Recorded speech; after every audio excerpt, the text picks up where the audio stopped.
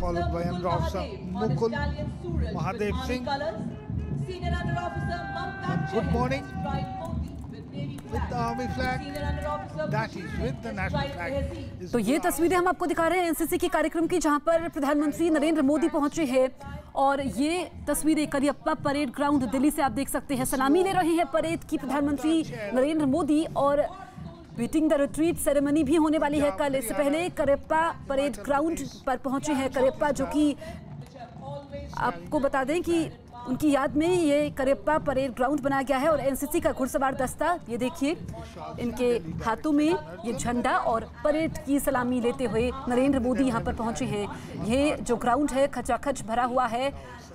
और आप देखिए, ये जो खास मकसद है इसके पीछे, दरअसल जो परेड हो रही है, उसमें सफ़ाई का संदेश देते ये छात्र भी लोग आपको नज़र आ रहे हैं। ये देखिए, सफ़ाई को लेकर के प्रधानमंत्री नरेंद्र मोदी जागरूकता फैलाते रहते हैं और झाड़ू है लोगों ने हाथों में थामी हुई है। तो एक नहीं, अनेक मकसद हैं इसके पीछे और इसी को बताने की कोशिश PM Modi Cariappa parade ground पर करते हुए, सलामी लेते हुए और ये आप देखिए, ये जो दस्ता है यहाँ पर सलामी ले रहे हैं और ये खास कार्यक्रम एनसीसी का हो रहा है जिसमें पीएम नरेंद्र मोदी मौजूद हैं। ऐसे कई मौके आते हैं जब वो जवानों का हौसला बढ़ाते रहते हैं, उनके कार्यक्रम में शिरकत करते हैं। दो तस्वीरों के माध्यम से हम आपको दिखा रहे हैं। देखिए, ये परेड हो रही है और उनके साथ सेनाओं के प्रमुख भी मौजूद हैं।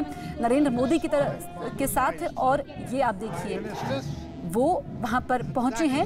व्यस्त तो उनका कार्यक्रम रहता है, लेकिन जब भी ऐसा मौका आता है, जब भी जवानों की हौसला बढ़ाने की बात होती है और खासकर सफ़ाई को लेकर के हमने देखा है कि खुद पीएम मोदी ने हाथों में झाड़ू थामी थी, उसका संदेश भी दे रहे हैं। आप नरेंद्र मोदी के पीछे राजनाथ सिंह को भी देख सकते हैं, जो कि रक्षा मंत्री हैं, वो भी यहाँ पर पहुँचे हैं और देश की हिफाजत की जब बात आती है, जवानों के हौसले की बढ़ात आती है तो नरेंद्र मोदी पहुँचते हैं और बड़े ही, आप देखिए कि बारीकी से कार्यक्रम को देखते हुए और यहाँ पर ये परेड के साथ साथ सलामी ले रहे हैं नरेंद्र मोदी और बैंड के साथ ये दस्ता आगे बढ़ता हुआ।